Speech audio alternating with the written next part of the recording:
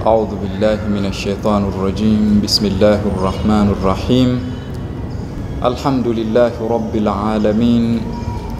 الحمد لله ثم الحمد لله. أول الدين معرفته وكمال معرفته التصديق به وكمال التصديق به توحيده وكمال توحيد به al-ikhlasu lah. E, katika kipindi cha swali letu la leo e, tutajibu swali ambalo limeulizwa ya kwamba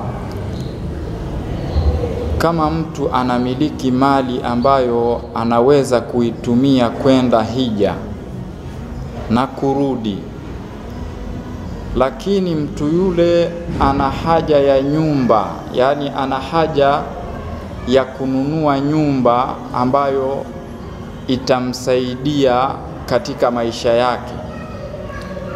Je, mtu yule atatanguliza kununua nyumba au kwenda hija? E, katika kujibu swali hili tunaangalia yale mambo ambayo yanamfanya mtu awe na uwezo wa kwenda hija. Ukiangalia katika yale masharti ya mtu kuwa na uwezo wa kwenda hija, ni lazima awe hana mahitajio yoyote ya dharura ambayo yatamfanya eh, aweze kutumia ile pesa yake kwa ajili ya yale mahitajio.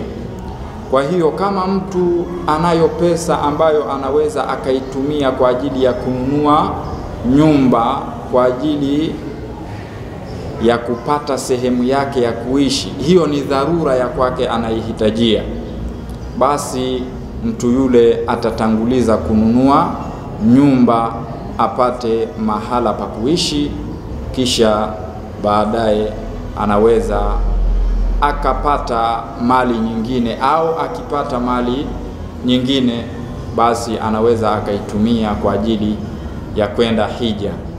Na mtu yule hawezi akahesabiwa kwamba ni mustatia. Mtu yule atahesabiwa kwamba e, hana uwezo wa kwenda hija, kwa sababu kama mtu ana uwezo basi anakuwa hana mahitaji mengine ya ziada ambayo yatamfanya atumie ile mali yake katika mahitajio yale, ndipo anaweza kwenda hija. Kwa hiyo atatanguliza kununua nyumba na hija itafuata baadaye atakapokuwa na uwezo. Wassalamu alaikum warahmatullahi taala wabarakatuh.